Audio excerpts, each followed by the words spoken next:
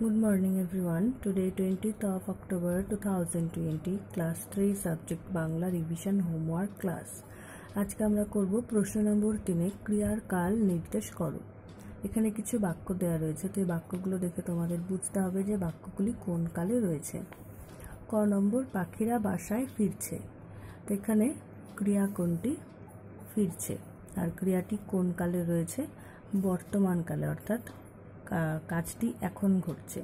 তাহলে এই কালটি কী হবে? বর্তমান কাল। এরপরে খ নম্বর, আমি বইটি পড়েছিলাম।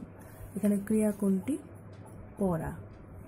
আর এই ক্রিয়া কোন কালে রয়েছে? অর্থাৎ আমি কাজটি আগে করেছি, বইটি আমি পড়েছিলাম, কাজটি আগে করেছি। তাহলে আগে কাজ করলে বা ঘটলে কোন কাল বোঝায়? অতীতকাল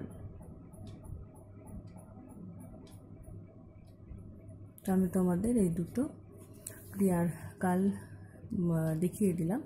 বাকি তিনটে বাক্যের ক্রিয়ারকাল তোমরা নিজেরা অভ্যাস করে করে হোমওয়ার্ক কপিতে লিখবে। Thank you